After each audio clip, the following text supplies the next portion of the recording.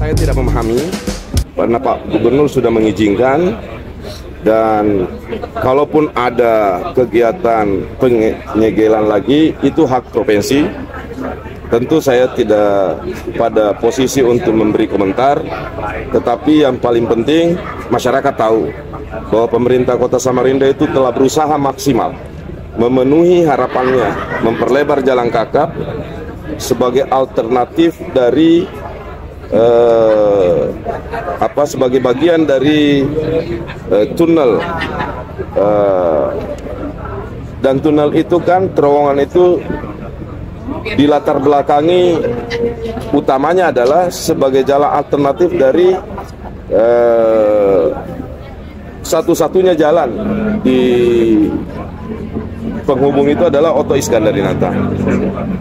Kalau secara akal sehat, harusnya pemerintah provinsi mendukung full. Ini bukan maunya wali kota, ini benar-benar permintaan masyarakat di Jalan Kakap. Tetapi eh, seperti yang teman-teman lihat, saya telah berusaha dengan segala macam upaya telah kami lakukan. Pak Gubernur pun sudah sudah apa namanya eh, mengizinkan dan uh, saya tidak tahu. Konon saya dengar BPKD yang melakukan uh, penyegelan. Saya nggak bisa bayangkan kalau kayak saya misalnya di Samarinda sebagai wali kota telah memberikan izin terus kepala dinas saya uh, apa melakukan itu menurut saya kurang kurang pada tempatnya ya. Kalau misalnya katakanlah karena di di di di banner yang di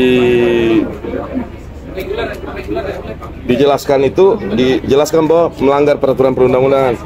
Coba dijelaskan peraturan undang-undang berapa, undang-undang peraturan perundang-undangan apa, pasal berapa yang dilanggar. Supaya ini kan eranya era keterbukaan, tidak boleh lagi ada yang ditutupi. Pasal berapa di undang-undang berapa yang kita langgar.